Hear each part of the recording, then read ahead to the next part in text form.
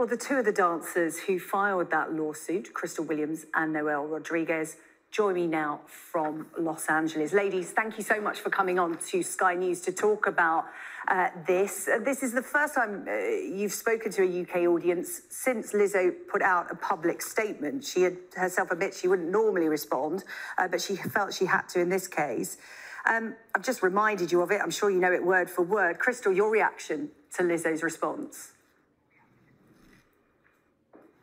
Um, I just want to, for one, address one of the claims that she made um, in her statement.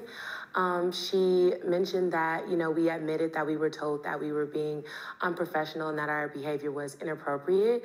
Um, I just want to first clarify the fact that these statements that were made were not addressed to the three of us individually, but to the entire dance cast as a collective. So it was not a not like we were singled out or told those directly. Um, and then in addition to that, I also want to add context to where those claims came from because none of those were even brought up until the dancers as a collective.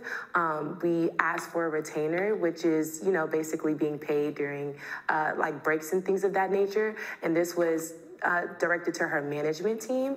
And then from there, we kind of started to see the hostile work environment in regards to retaliation and them calling us unprofessional and saying that our behavior was inappropriate. And me personally, when I was being let go, I was told that I didn't have the best attitude at times and that I came across as snarky after of course, once again, speaking up and advocating for myself. So it's just, her statement is just, um, uh, just confirming the pattern of every time somebody speaks up or advocate for themselves like we're doing now, we get victim blamed, we get gaslighted, and she likes to point the finger instead of addressing the issues that are being brought up. And I would just like to make it really apparent because I think it's something that people don't understand not everyone was terminated.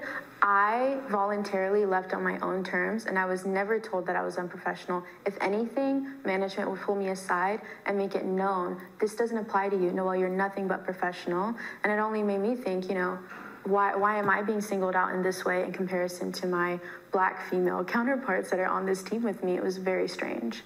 Yeah, Noelle, I, I I'm looking at, you know, the list of allegations there that are forming part of this lawsuit. Um, we've talked about uh, sexual harassment, and there's also religious harassment, racial harassment, disability discrimination, uh, interference with prospective economic advantage, assault, and false imprisonment. It's quite the list uh, of allegations you make. Now, I just wonder if you want to respond to the first part of Lizzo's statement, because it's the first bit she says. She says these are sensationalized stories they're coming from former employees who have already publicly admitted that they were told their behavior on tour was inappropriate and unprofessional. Mm-hmm. So I think I think why it may seem sensationalized or just outrageous. Well, one is because it is outrageous. it, we we were shocked by all of these things that happened to us, and also I think it's kind of comes as a shock to the public or people that are just hearing about these things because although unfortunately this treatment by management, artists, you know, it's it's normal in the entertainment industry, but it sounds so outrageous because I feel this is the first time something like this is being brought to light so publicly. So yes, it's outrageous. Yes, all of these claims seem just outlandish, but these these are our experiences and this really happened to us. So to just kind of deny and victim blame and not even take accountability for I'm sorry if this is even the way I might have made you feel or I created a work environment and put people in leadership positions to make you feel this way you know that it's just so insensitive and it kind of invalidates our our experience as a whole. And and these things, you know, we have proof of these things happening to us t- time and time again. So I, everything has been documented over time. So I just, yeah, over sensationalized is just, wow. Yeah, I mean, Crystal, it did shock the public because you know this is a singer who is very open about her own issues with um, body positivity. She promotes, you know, um, you know, bigger women. She's all about empowering women, and I think that's why it came as a shock to the public. And, and from what Noelle was saying, this isn't particular. This treatment to Lizzo and her tour company this goes on in the main in the industry. Have you had other experiences like this? And is this the start of a movement? You know, uh, we've seen the writers go out on strike, for instance, in Hollywood. We've seen the Me Too movement. Do you think this is the start of something bigger? Oh, absolutely. Just like what Noelle was saying, this is it, it, it's shocking because this is the first time that it's been put put out on Front Street for everybody to see. But this is something that happens on the every on the everyday basis. Sadly, um, we've already experienced not only dancers that have worked with her directly, but dancers that are just in the enter- entertainment industry in general. They've already come out and they've shared their stories. They feel brave enough to share their experiences, and so that within itself, to me, is already starting a movement because before people were just silent about it. They didn't feel comfortable enough, they didn't feel protected enough to call these artists out, to call these management teams out, and let them know, hey, what you're doing is wrong. Um, Noelle, there are going to be people that are saying, why are you doing this? Why have you gone public? Why have you gone down the legal route? Did you go to Lizzo directly at the time? Did you go to her afterwards? Because it's not just Lizzo, it's her production company and the woman who is in charge of the dancers, mm-hmm. if you like. What action did you take at the time? Because some people will be looking at you, ladies, and you know, they will not take this at face value. They will say, you know, you're either in it for a bit of notoriety, in it for some money. What would you say to that?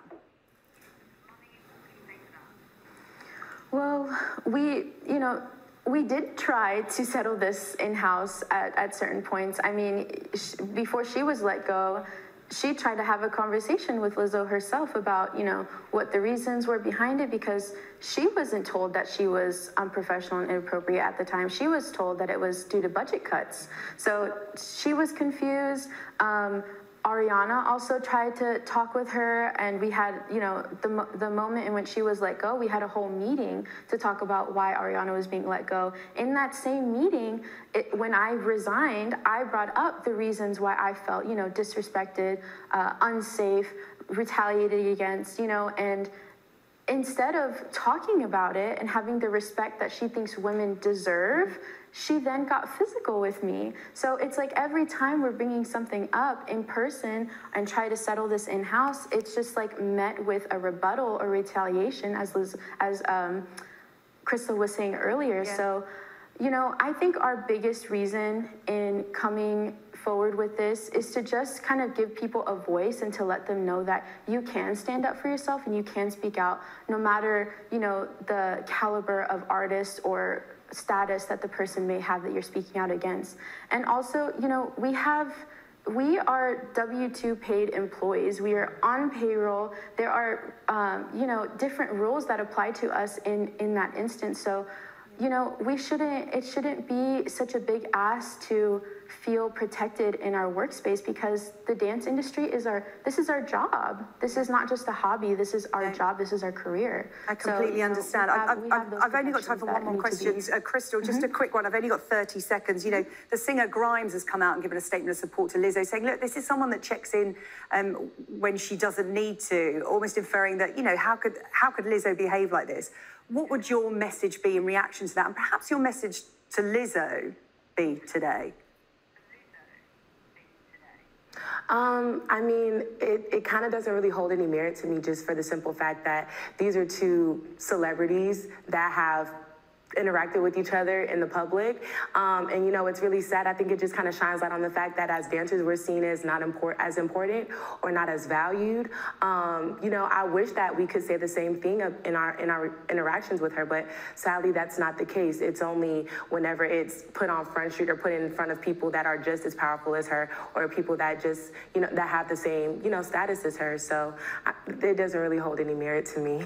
Okay, Crystal Williams and Noelle Rodriguez, who, along with uh, another former dancer, Arianna Davis, are taking legal action against Lizzo. Uh, thank you so much for your time, ladies. We really appreciate it here on Sky News. Let's just remind you of the statement that Lizzo released in the face of those allegations. Uh, she said, Usually I choose not to respond, but these are unbelievable and they sound uh, as outrageous uh, as they do. They're too outrageous not to be addressed. The singer goes on to say these are sensationalized stories that are coming from former employees who have already publicly admitted that they were told their behavior on tour was inappropriate and unprofessional. There is nothing I take more seriously than the respect we deserve as women in the world. I know what it feels like to be body shamed on a daily basis and would absolutely never criticize or terminate an employee because of their weight.